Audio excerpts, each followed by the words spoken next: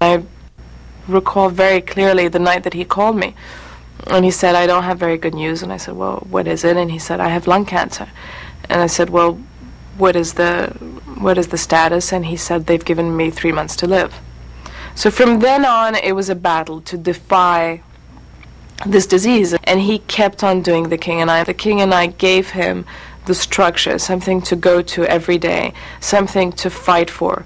It gave him two and a half years, which were two and a half years that we really hadn't hoped for.